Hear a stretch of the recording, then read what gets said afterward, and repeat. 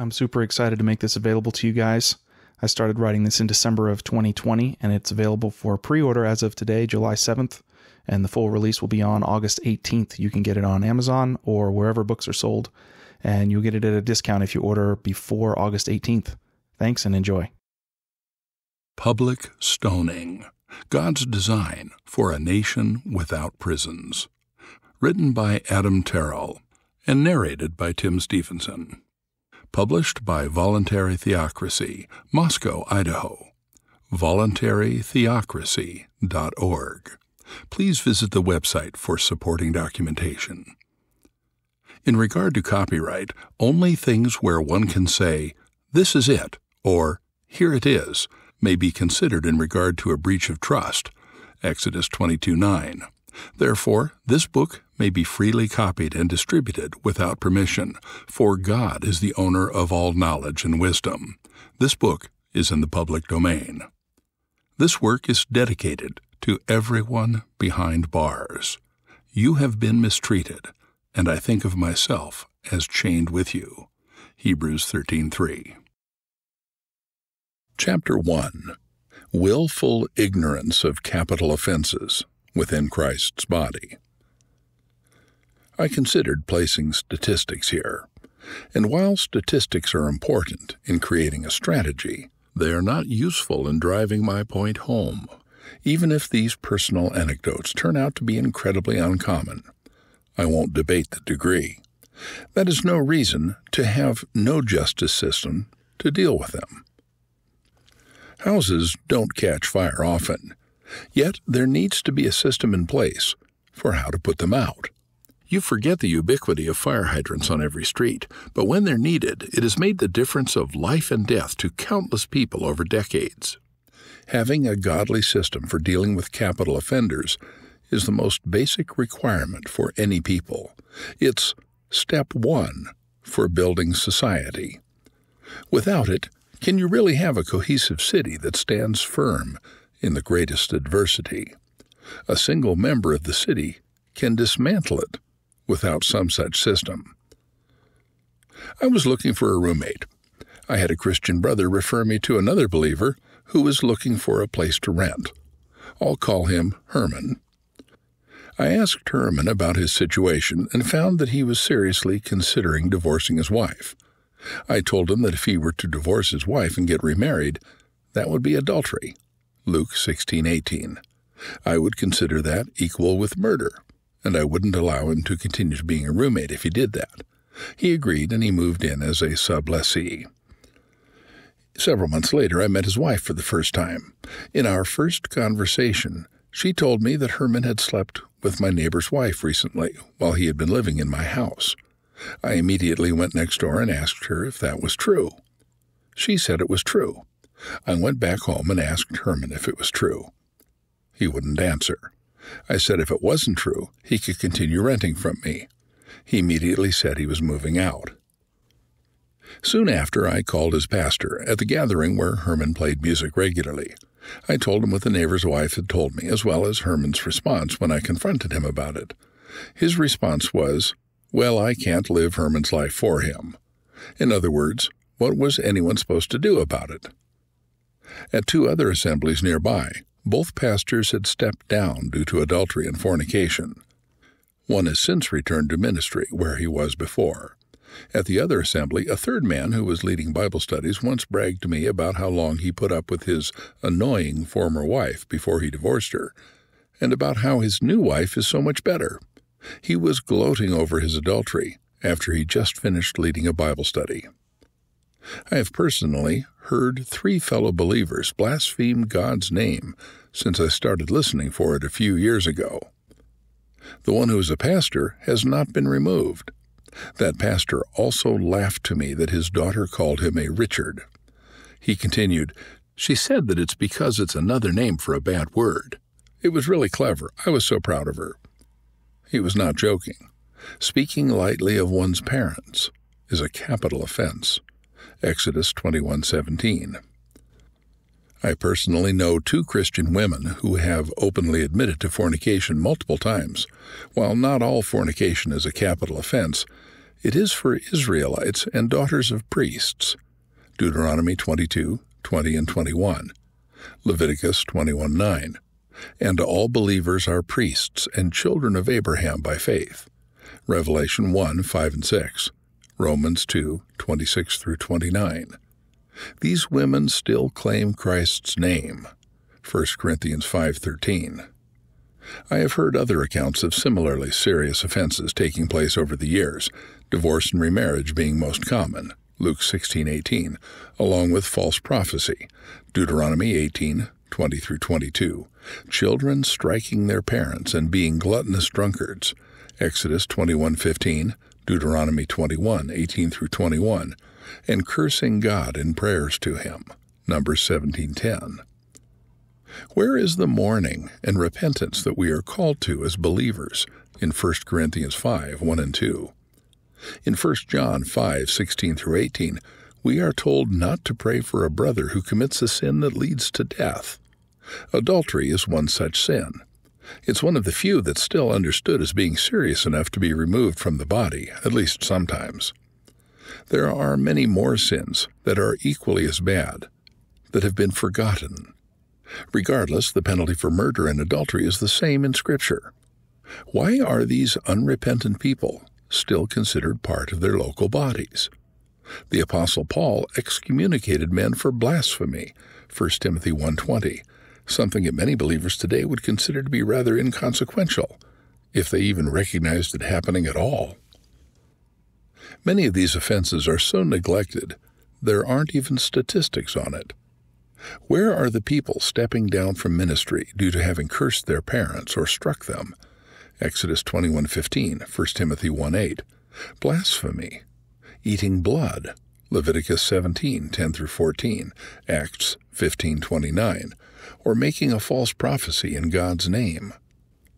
Where are these things seen as serious enough to be removed from the congregation by lawful means? Even if these are not widespread problems, the degree is nebulous. Isn't it best to have a plan for what to do before a catastrophe happens? It's best to think about the consequences for these matters before one is caught in an offense. God's design for capital offenses is intended to provide just such a teaching opportunity. Yet even this warning of innocent bystanders is often neglected at best and spoken of as unloving at worst. We need to understand what God designed repentance to look like for a capital offense in the light of the law and what that means for believers today.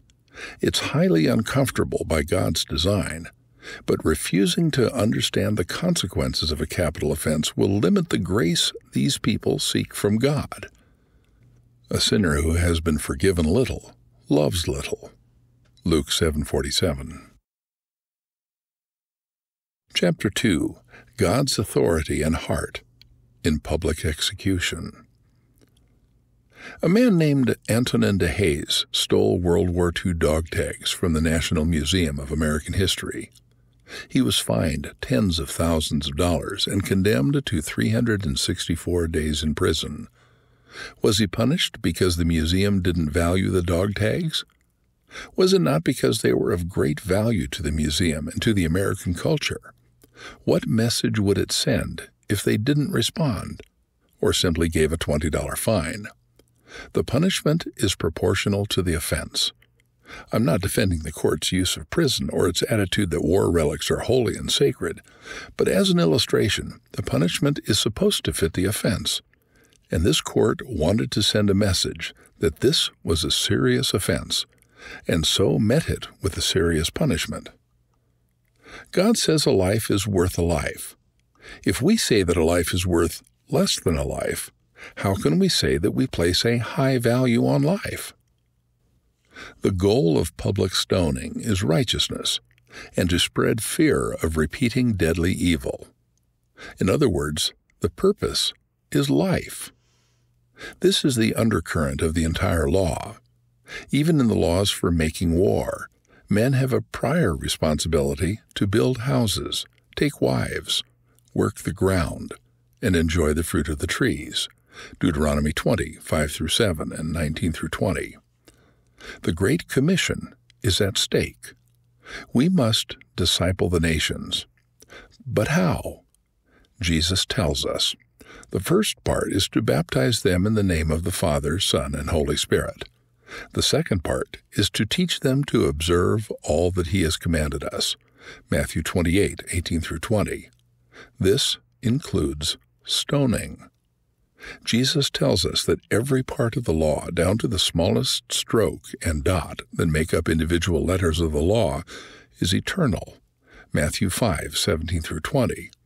Throughout the Gospels, Acts, epistles, and the prophetic work of Revelation, the validity of the law is assumed, specifically referenced, and upheld as good.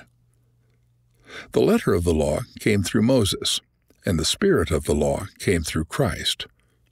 What does this mean? Throughout the Sermon on the Mount, Christ said, Not only is the law that adulterers should be put to death good, but the spirit of the law goes even further, so that the act of even looking at a woman with lust is committing adultery in the heart. Hating a brother is also committing murder in the heart. Matthew 5 21 through 30. Christ never relaxed the law. Matthew 5:19. He tightened its requirements and gave new commandments. Matthew 19:8 through 9 and John 13:34. The letter of the law is lax compared to the spirit of the law, and the spirit of the law is what gives life. 2 Corinthians 3 6. We see this attitude throughout the New Testament in examples of Paul using relatively obscure passages of the law to inform our conduct today. In 1 Corinthians 9 9, Paul writes that he does not instruct by human authority, but from the authority of the laws given to Moses. In 1 Timothy 5:18 and 1 Corinthians 9:9, Paul quotes Deuteronomy 25:4 to prove that he and Barnabas have the right to be paid for their work in teaching. The law there says not to muzzle the ox as it treads out the grain. Paul assumes that this law applies forever. Would it make sense to base a proof off of something that is no longer in effect? Paul is using the letter of the law, which is true and eternal, to show the spirit of the law, which is yet more true and eternal. He does this again in Colossians 3 5. Just as the law says to put to death the evil person from among you, we are to put to death what is earthly in our hearts sexual immorality, covetousness, idolatry, and other evils. What sense would it make to say this if people aren't supposed to put to death the evil person from among them? Wouldn't this contradict the point Paul makes? Then in 1 Timothy 1 5 through 11, Paul writes a list of capital offenses, saying that the law is good to use lawfully. And in verse 11, he says that the goodness of the law is in accordance with the glorious gospel. Later in 1 Timothy 5:19, Paul upholds and refers to the laws for witness requirements found in Deuteronomy 19:15. His assumption is that the law still applies in every detail. In verse 20, he cites that the basis for public rebuke for unrepentant sin among believers comes from the law in Exodus and Deuteronomy. He says to rebuke in public so that the rest may stand in fear. This principle is based on the fear that public stoning is also meant to instill. Exodus 23 1, Deuteronomy 13 11, 17 13, 19 20, and 21 21. Again in 1 Corinthians 5, Paul addresses the assembly at Corinth, who are not mourning, but arrogant that a man has his father's wife. This is forbidden in the law, even if it were his mother-in-law, Leviticus 20:11, Deuteronomy 27:23. And then Paul tells the body to hand the man over to Satan to destroy his flesh, that his soul may be saved, and thereby purge the evil from among you. This is death penalty language. The phrase is only used in connection with capital punishment in Deuteronomy 13:5, 17, 7 and 12, 19, 19, 21, 21, 22, 21 through 24, and 24 7. The Jews had made a Greek translation called the Septuagint from the original Hebrew, and Paul quotes this Greek translation word for word so that there's no mistake as to what he's referencing. If capital punishment according to the law is not something that God's people should even consider applying to themselves, why would Paul use a phrase only referring to the death penalty in the law as instruction for them when a man takes his father's wife? And the most personal example for Paul is found in Acts 25. The Jews had had enough of his teaching about the Messiah and his fulfillment of the law. Due to their long rebellion to God, they had most of their authority to execute stripped away from them by Rome for generations. They wished that Paul were dead, so they charge him by Jewish and Roman law of being guilty of death. Anything they can do to get Festus the procurator to execute him by Roman authority. In verse 8, Paul says that there is nothing to their charges of violating Jewish law, and that if there were, he would not seek to escape death in verses 10 through 11. If Paul were ever going to make the case that capital offenses did not deserve death at the hands of the people, wouldn't it have been then? Not only does he not make this case, but also he says if there is merit to the accusations, he agreed that he should die. Contrast this with Acts 9:23 through 25, where Paul succeeded in escaping the Jews who plotted to kill him. So he simultaneously upholds the goodness and validity of the law while saying by his actions that there was no merit to their accusations. Now let's move to two examples of Jesus directly. The first is found in Luke 19 1 through 10 with Zacchaeus. Zacchaeus was a tax collector and had sinned greatly by collecting much more in taxes than he was authorized to do. Luke 3:13. Zacchaeus knew the law of restitution for stealing, and so he knew the appropriate action to take to bear the fruits of repentance. He offered fourfold and fivefold restitution as found in Exodus 22:1, which King David also condemned himself with in 2 Samuel 12:1 through 7. These are no random amounts that Zacchaeus is offering. He offers four times the extra amounts he had collected from those he had defrauded. Where did Zacchaeus come up with this amount? There are three penalty levels for theft. 1. A repentant thief who returns the stolen property on the day he realizes his guilt must restore the property and pay an additional fifth and offer a ram or equivalent as a sacrifice. Leviticus 6 1 through 7. 2. A thief who is caught with the stolen property must restore double the property. Exodus 22 4 and 7. 3. A thief who steals property and either sells or destroys what was stolen must pay a fivefold or fourfold penalty. Exodus 22 1. Jesus doesn't condemn Zacchaeus for wanting to repent by obeying the laws for restitution.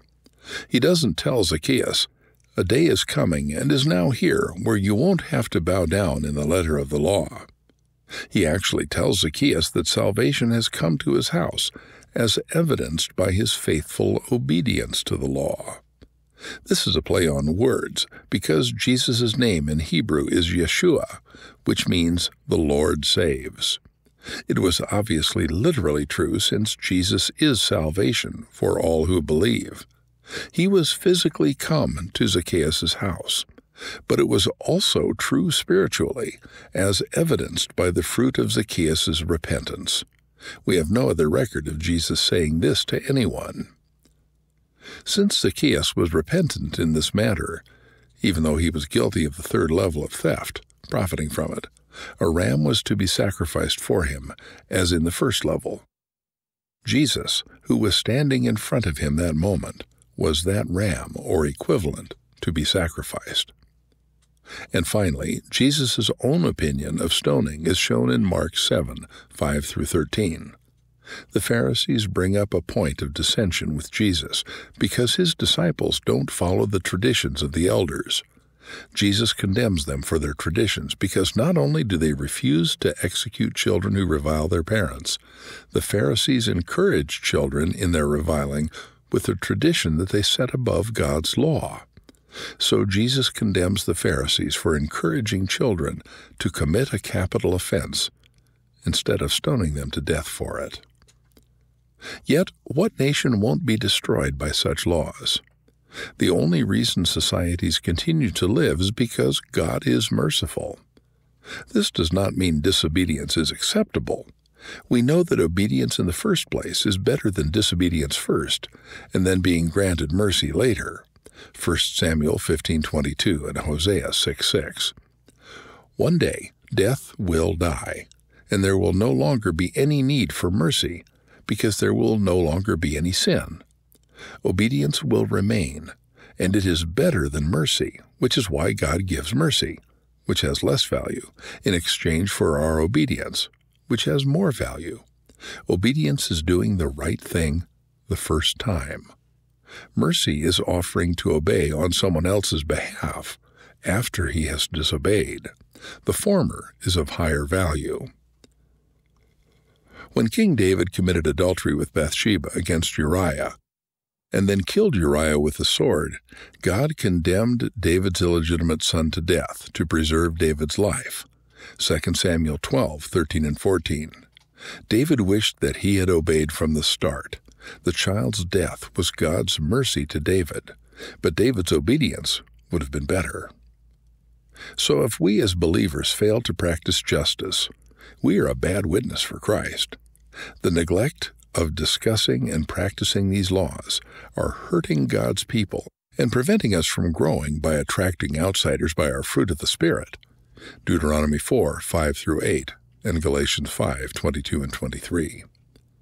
The righteousness we are to exemplify is like a person's health. A healthy person seeks out what's best for him to eat and do to take care of his body. But if he does something foolish and breaks his leg, a good diet isn't going to set a broken limb or mend a torn ligament. If left unattended long enough, amputation may even be necessary. Likewise, if there's a growing tumor that's threatening to block someone's airways, a knife and some cutting must be done to ultimately save the rest of his body. Matthew 5:29 and 18:9. Christian community like any community, is based on a system of blessings and curses, which exist on a spectrum. In a family, certain privileges are obtained by trust and heightened accountability. This trust carries penalties for breaking faith in proportion to the weight of trust a task requires. Without greater consequences for disobedience, like priests in the temple, compare Exodus 22:16 and Leviticus 21:9 there can be no access granted for service. For example, a large business wouldn't trust an unknown pedestrian from the street to be the new executive decision maker. If he is given actual control, he must be fully aware of the serious consequences of failure or breaking faith. Otherwise, there is too much risk of damage if he becomes untrustworthy. Dealing with capital offenses is the most basic tenet of any nation. If a nation has no will to remove murderers and other capital offenders from all contact with its people, it will eventually collapse or be destroyed. The goal is honoring God, which results in a healthy nation, long life, and prosperity. Deuteronomy 28 1 through 14. In the same way, God's design for life and growth must include rewards for obedient living, and it must include punishment for disobedient living including death, so that further damage to others is avoided. See Deuteronomy 28's blessings and cursings. To neglect a whole view, positive and negative aspects, of righteousness is like saying all a person will ever need to be healthy is a good diet and exercise, no matter if it's obesity or a life threatening tumor. All nations realize that certain actions cannot be allowed to any extent without undermining the foundation of human life. In our current day, many nations we find ourselves in agree with God on a few key issues when it relates to life and death matters. Some of these are murder, negligent killing, repeated drunkenness and rebellion against authority, kidnapping people, maybe the rape of a married woman, adultery, and male homosexual acts in some parts of the world, and that's about it. While these are good, there are many more capital offenses that God warns us about, many of which are rampant among those who bear God's name. In Texas, where I was born and raised, not to conflate any earthly nation with God's nation, there have been about 700 murder convictions and 576 murder executions since 1982, as of 2022. To put that in perspective, there have been over 63,000 murders reported by participating jurisdictions in that same time period in Texas. So, assuming that there are no additional murders in the jurisdictions that don't report, let's assume that every murderer killed three people. That's 21,000 murderers. Assuming every 20th murderer is convicted and executed, that's 1,050 executions required for murderers alone. That's almost double the amount we see, and these assumptions are absurdly low, and the average number killed by each murderer is absurdly high. This does not include anything else in the list of capital offenses that will be outlined in Chapter 4, many of which even many Christians couldn't care less about. I think it is a safe bet to say that there are many more children who curse their parents than there are murders committed. And with more witnesses, too. This is not a society that values life. We must do better, and God's people must lead the way.